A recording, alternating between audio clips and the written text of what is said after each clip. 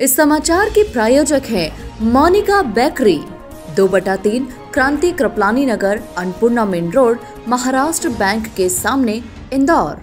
इस न्यूज़ के प्रायोजक हैं दास बेकर्स, स्थान Shiv Shakti villa, plot number सत्यासी, scheme number 103 दुकान नंबर दो, केशरबाग ब्रिज के पास इंदौर।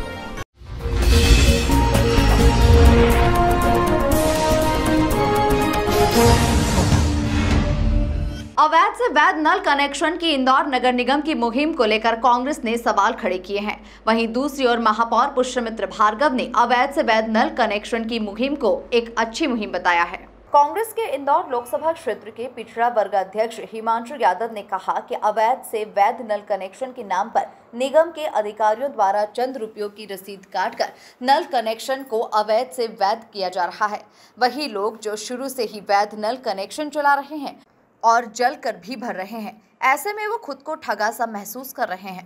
कांग्रेस नेता हिमांशु यादव ने कहा कि अवैध नल कनेक्शन लगवाने वाले तात्कालिक प्लम्बर व निगम के अधिकारियों पर निगम को कार्रवाई करना चाहिए। वहीं इस अवैध नल कनेक्शन का कोई रिकॉर्ड भी नहीं है। इस मामले में जलकारी प्रभारी को इस्तीफा दे देना चाहिए। वहीं दूसरी ओर महापौर पुष्यमित्र भार्गव ने अवैध से वैध नल कनेक्शन की मुहिम को अच्छी मुहिम बताया। साथ ही कहा कि इससे जनता परेशान नहीं है, क्योंकि अवैध से वैध कनेक्शन होना अच्छा है। देखिए, ये नगर निगम का बहुत बड़ा भ्रष्टाचार है और साथ ही साथ उन अधिकारियों को बचाने का भी काम किया जा रहा है कि जिस समय अवैध नल कनेक्शन हुए थे, उस समय के प्लम्बर और ठेकेदार और जिन अधिकारियों के संरक्षण में ये अवैध नल कनेक्शन हुए थे, उन पर सब पे कार्रवाई होना थी।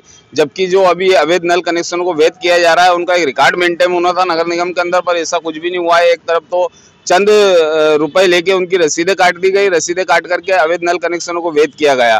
साथ ही वह लोग अपने आप को ठगा महसूस कर रहे हैं, जो रेगुलर अपना नलों का कर भरते चले आए हैं। एक तरफ़ तो नगर निगम ऐसे करदाताओं को जो रेगुलर कर भर रहे हैं, उन्हें चार चार, साढ़े चार चार लाख रुपए का नल के नाम पे बिल दे रहे हैं और दूसरी तरफ़ उन अवैध नल कनेक्शनों को वैध कर रहे हैं, वो भी चंद चंद पैसों की रसीदें काट काट कर। तो मैं चाहूँगा कि इसमें प्रभारी, नल कर प्रभारी को तुरंत इस्तीफा देना चाहिए। और उन सभी दोषी कर्मचारियों पे कार्रवाई की जाना चाहिए जिनके संरक्षण में ये अवैध नल कनेक्शन हुए थे और प्लम्बर हो चाहे ठेकेदार हो चाहे वो जोनल अधिकारी हो। सर आप कांग्रेस नेता हैं अभी किस तरह के कोई आपने निगम आयुक्त या महापौर से कोई चर्चा की इस मामले में? नहीं ये अभी मेरे संज्ञान में आज ही आया है मैं बहुत जल्द इसमें नगर निगम कमिश्नर से बात करूँगा।